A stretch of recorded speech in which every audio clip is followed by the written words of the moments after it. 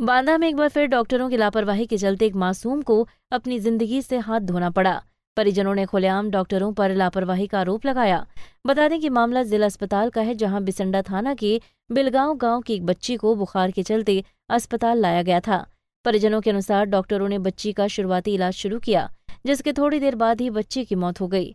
परिजनों का कहना है कि बच्ची की हालत बिगड़ने के बाद भी डॉक्टरों से नहीं देखा, जिससे उसकी मासूम बच्ची की मौत हो गई। वहीं मामले को लेकर बच्ची के परिजनों ने अस्पताल में हंगामा शुरू कर दिया। हालाँकि हल्ला बढ़ता देख डॉक्टरों ने किनारा कर लिया।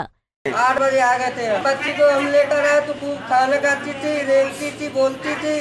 और जब यहाँ से आ गए तो जाँच लिखा अभी जाँच से कह रहे थे, कल जाँच मिलेगी, अभी तक जाँच नहीं मिली।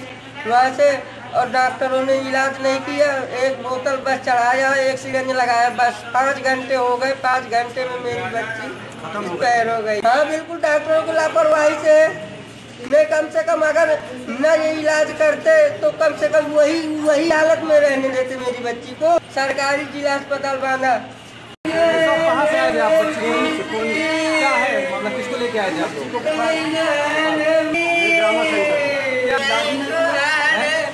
ही नहीं किया एक इंजेक्शन लगा दिए बोले डॉक्टर साहब आएँगे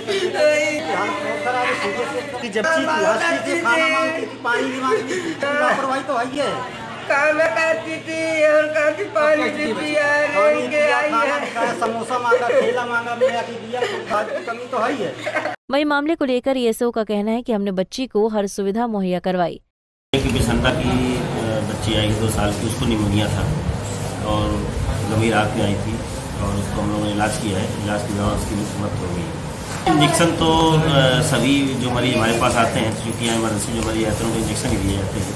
उसको इंजेक्शन भी दिया गया ऑक्सीजन भी दी गई और नेबुलाइज भी करवाया गया था लेकिन वो इम्प्रूव नहीं हुई और उसकी मृत हो गई जहाँ बच्ची के परिजनों का आरोप है कि डॉक्टरों ने इलाज के दौरान लापरवाही की है तो वहीं ईएमओ का कहना है कि अस्पताल में सुविधा मुहैया करवाई गई।